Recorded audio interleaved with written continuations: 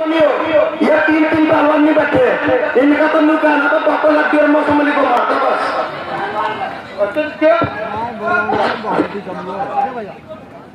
बड़े बड़े चारी मारे संसद हाँ। अरे